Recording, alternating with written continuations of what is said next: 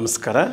ಒದಿನ್ಸ್ ಕರ್ನಾಟಕಕ್ಕೆ ಸ್ವಾಗತ ಹಿಂದೂ ಸಮಾಜವನ್ನು ಸಂಘಟಿಸಿ ಭಾರತವನ್ನು ಹಿಂದೂ ರಾಷ್ಟ್ರ ಎಂದು ಘೋಷಿಸಬೇಕೆಂದು ಹಿಂದೂ ಜನಜಾಗೃತಿ ವೇದಿಕೆಯ ಋಷಿಕೇಶ್ ಗುರ್ಜರ್ ಸರ್ಕಾರವನ್ನು ಆಗ್ರಹಿಸಿದ್ದಾರೆ ಬೆಳಗಾವಿಯ ಕನ್ನಡ ಸಾಹಿತ್ಯ ಭವನದಲ್ಲಿ ಸುದ್ದಿಗೋಷ್ಠಿ ನಡೆಸಿದ ಹಿಂದೂ ಜನಜಾಗೃತಿಯ ಋಷಿಕೇಶ್ ಗುರ್ಜರ್ ಹಿಂದೂ ಧರ್ಮದ ಮೇಲೆ ಅನೇಕ ರೀತಿಯಲ್ಲಿ ಆಕ್ರಮಣಗಳು ನಡೆಯುತ್ತಿವೆ ಧರ್ಮ ಪರಂಪರೆಗಳ ಭಗ್ನ ಮಾಡುವುದು ಹಿಂದೂ ದೇವತೆಗಳ ಸಂತರ ಅಪಮಾನ ಮಾಡುವುದು ಹಿಂದೂ ಸಂಘಟನೆಗಳನ್ನು ಸುಳ್ಳು ಪ್ರಕರಣದ ಸಿಲುಕಿಸಿ ನಿಷೇಧಿಸುವ ಷಡ್ಯಂತ್ರಗಳು ಲವ್ ಜಿಹಾದ್ ಮೂಲಕ ಹಿಂದೂ ಯುವತಿಯರ ಮತಾಂತರ ಹಿಂದೂ ನಾಯಕರ ಬರ್ಬರ ಹತ್ಯೆ ಹಿಂದೂ ಕಾರ್ಯಕರ್ತರನ್ನು ಸುಳ್ಳು ಪ್ರಕರಣ ಸಿಲುಕಿಸುವ ಸೇರಿದಂತೆ ಹಲವಾರು ಸಮಸ್ಯೆಗಳು ಎದುರಾಗಿವೆ ಹೀಗಾಗಿ ಹಿಂದೂಗಳನ್ನು ಜಾಗೃತಗೊಳಿಸುವ ಅಗತ್ಯವಿದೆ ಎಂದು ಹೇಳಿದರು ಅಲ್ಲದೆ ಬೆಳಗಾವಿಯ ಧರ್ಮವೀರ ಸಂಭಾಜಿ ಉದ್ಯಾನವನದಲ್ಲಿ ಹಿಂದೂ ರಾಷ್ಟ್ರ ಜಾಗೃತಿ ಕಾರ್ಯಕ್ರಮ ಆಯೋಜಿಸಲಾಗಿದೆ ಎಂದು ಅವರು ಹೇಳಿದರು ಈ ಸಂದರ್ಭದಲ್ಲಿ ಹಿಂದೂ ಜನಜಾಗೃತಿ ಸಮಿತಿಯ ಸುಧೀರ್ ಹೆರೆಕರ್ ಬಾಪು ಸಾವಂತ್ ಸೇರಿದಂತೆ ಹಲವರು ಉಪಸ್ಥಿತರಿದ್ದರು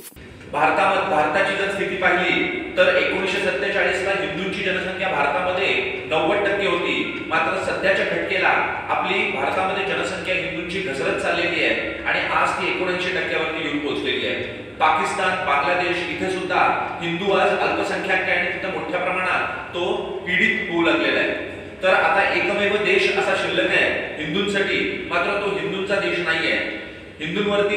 दिवसाढवळ्या मोठ्या प्रमाणात धर्मांतरण हिंदूंच्या मंदिरातला जो पैसा आहे तो सरकारीकरण होणं आणि सरकारीकरण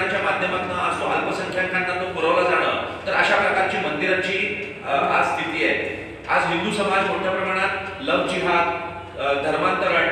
आज लँड जिहाद अशा प्रकारच्या मोठ्या मोठ्या जिहादांना सामोरं जाऊ लागलेलं आहे तर ही सगळी स्थिती बदलायसाठी आणि सगळ्यांना समान अधिकार मिळावेत अशा प्रकारचे एक राष्ट्र निर्माण करण्यासाठी म्हणून आम्ही ही हिंदू राष्ट्र जागृती सभेचं आयोजन केलेलं आहे तर जास्तीत जास्त हिंदूंनी या हिंदू राष्ट्र जागृती सभेमध्ये यावं आणि आपलं कर्तव्य